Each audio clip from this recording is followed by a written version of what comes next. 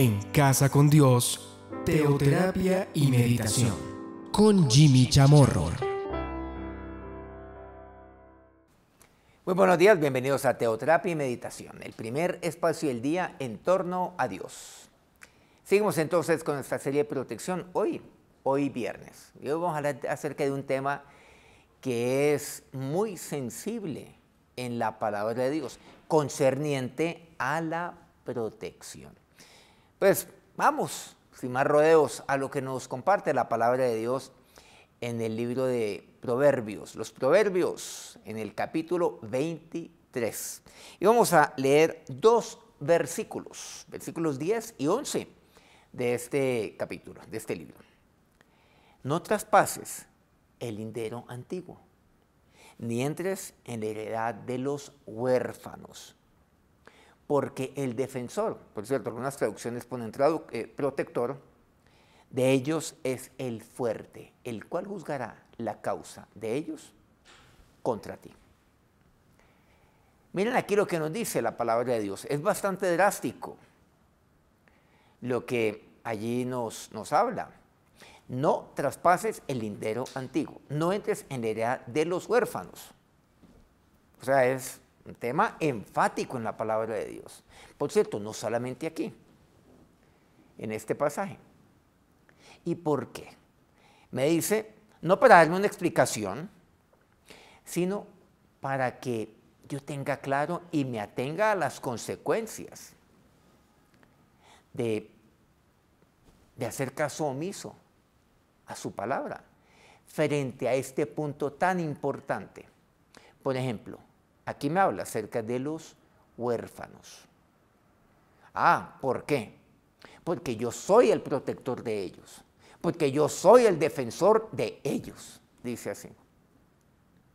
No hay explicaciones, porque es que el huérfano está desamparado, porque está solo, porque... No, no, es que yo soy el defensor de ellos, porque yo los protejo a ellos. ¿Qué tal no meterse con aquel a quien Dios protege?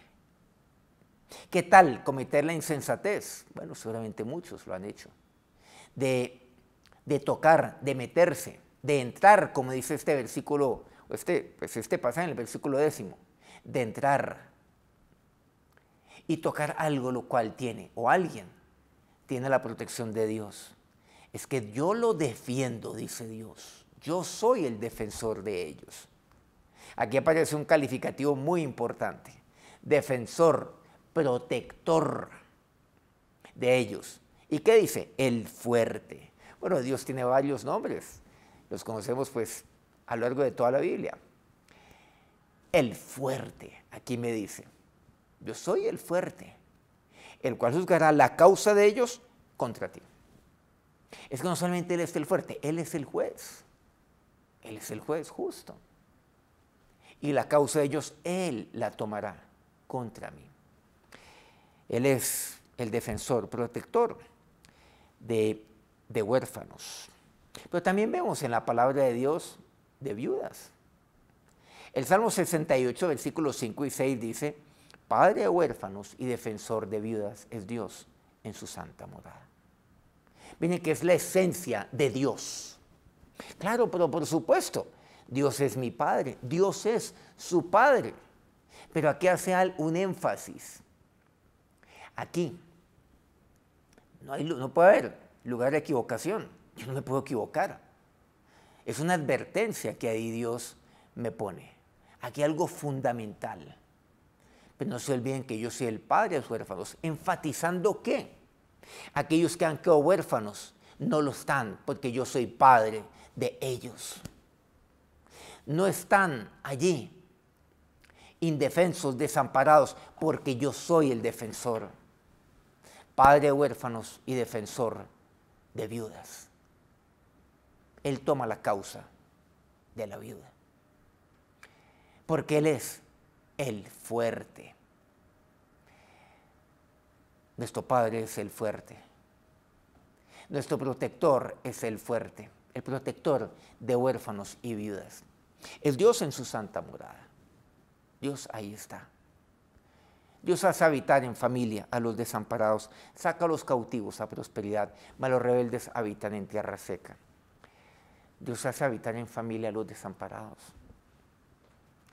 Entonces, Dios me rodea, ¿sí? Aquel que está desamparado. Y está hablando ahí. ¿De quién? De aquel, de aquella, huérfano, huérfana. De aquella viuda que ha quedado desamparada. Y solamente puede haber allí una, pues puede haber y puede prolongarse ese sentir de desamparo en muchos. Pero Dios hace habitar. No solamente es el hecho de proveer una familia, sino de habitar en familia. Porque Él es así.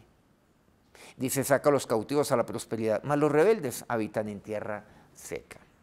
Eso es Dios. Y aquí mi llamado para todos en este momento.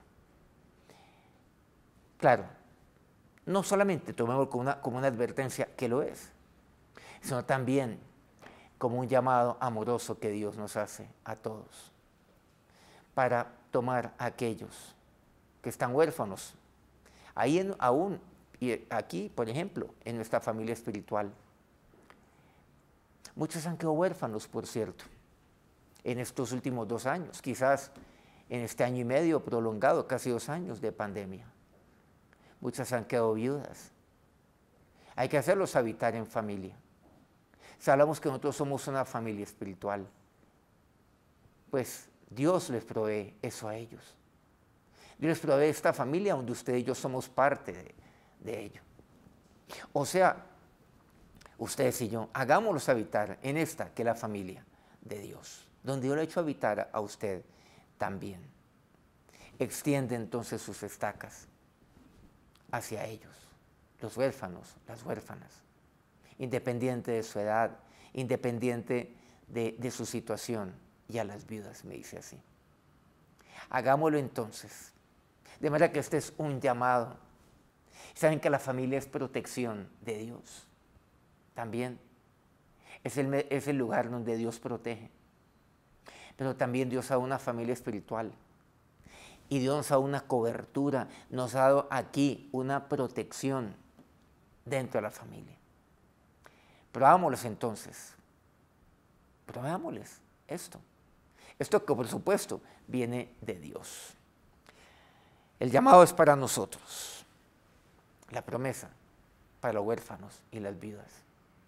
La promesa, el consuelo la respuesta de Dios. El Salmo 146, 9, Jehová guarda a los extranjeros, al huérfano y a la vida sostiene. Seamos de bendición para ellos. Dámosles una familia, la familia que es de Dios. Porque Dios es el que los sostiene. ¿Quién? El fuerte. Santiago capítulo 1. Clarísimo lo que dice aquí el apóstol Santiago. La religión pura y sin mácula delante de Dios, el Padre es esta. El término religión no se menciona muy frecuentemente en la Biblia. Y aquí está, este aquí es donde aparece. La religión pura, no, no la religión esa mística, no la religión de los fariseos, no la religión del rito, no. La religión pura y sin mácula delante de Dios, el Padre, es esta. Si hay una religión, sí, pero aquella que es pura, sin mácula. O sea, nada que tachar. Visitar a los huérfanos y a las vidas en sus tribulaciones y guardarse sin mancha del mundo. Visitar, o sea, estar con las vidas, con los huérfanos, en sus momentos de dificultad. Pero es que Jimmy, yo también tengo dificultades. Bueno, eso no puede ser pretexto, no debe serlo. Dios ahí lo ha establecido. Cánese también el corazón de Dios. Y aquí yo le digo algo lo cual jamás pensé que iba a decir sea religioso. Jamás lo he dicho. Siempre he dicho, no, es que pues Cristo es una experiencia de vida, no es religión. Y yo les digo hoy, sean religiosos. Jamás pensé que lo diría nuevamente.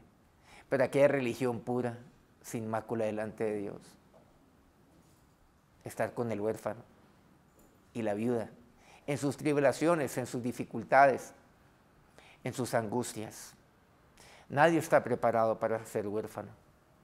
No hay una sola mujer que esté lista jamás para la viudez. Pero usted y yo debemos estar siempre prestos a ser ese instrumento maravilloso de Dios, de el fuerte. Y finalmente, Isaías, capítulo 1, versículo 17, aprended a hacer el bien, buscad el juicio, restituid al agraviado, hacer justicia al huérfano, amparad a la viuda. Uy, ¿qué tal lo que nos dice? Aprendan a hacer el bien, aprendan. Es un aprendizaje. No nacemos buenos, busquen el juicio. ¿Qué quiere decir? A Dios. ¿Pero qué se refiere? Restituir al agravado, hacer justicia al huérfano. ¿Qué, será? ¿Qué dice hacer justicia al huérfano? Así como Dios lo hace, estar del lado del huérfano. Amparad a la viuda. Este mensaje es para los huérfanos y las viudas, pero también es para toda esta familia espiritual. Vamos a acercarnos al protector, al defensor, al fuerte, al Dios de viudas y huérfanos. Señor Dios, te amo gracias en este momento, porque, Señor, tu palabra me conmueve, pero también me exhorta. Si usted es viuda, es huérfano, dígale al Señor gracias. Gracias, oh Dios, porque tú conoces mis tribulaciones, como dice aquí tu palabra. Pero Dios, tú eres mi defensor, eres mi protector. Sé tú, oh Dios, todo eso en mi vida. Te lo pido a ti. Que seas tú el que me sostiene. Que seas tú el que, Señor, haga que el juicio misericordioso sobre mi vida. Siempre. Y ahora usted dígale, Señor, yo también quiero ser instrumento de bendición. Tu instrumento para las viudas, para los huérfanos, Dios. Para estar allí. Yo hago parte de esta familia espiritual. Señor, para que esta familia espiritual sea de bendición, Señor. También. Este también es un llamado para nosotros. Este, esta exhortación para nosotros, mi Señor y Dios. La familia es protección, Dios. Gracias porque tú eres la cabeza de esta familia, Cristo Jesús. Gracias porque tú eres Dios el Padre, el Padre de huérfanos, eres tú. Eres el defensor, el protector de viudas. Ahora, que tu bendición sea sobre todas aquellas viudas, sobre todos los huérfanos, oh Dios, que no lo son, porque tú eres su Padre. Y que tu bendición sea sobre toda esta familia. Amén. Muchas gracias por acompañarnos nuevamente en este día y a lo largo de toda esta semana en Teoterapia y Meditación. Y muchas gracias a todos aquellos que transmiten este programa semana a semana, día a día. Colmundo Radio, aquí en Colombia, Radio Fuego FM en Guayaquil, Ecuador, El Puerto Noticias en Hilo, Perú, Guayú Estéreo en la hermosa Guajira colombiana y el Corregimiento del Jardín, el Bajo Cauca colombiano, Platino Estéreo. Antes de irse, regálenos por ahí un me gusta. Sí, por supuesto este programa ha sido de bendición, edificación para usted. Que tengan un feliz fin de semana. Que Dios los bendiga. En Casa con Dios, Teoterapia y Meditación. Con Jimmy Chamorro.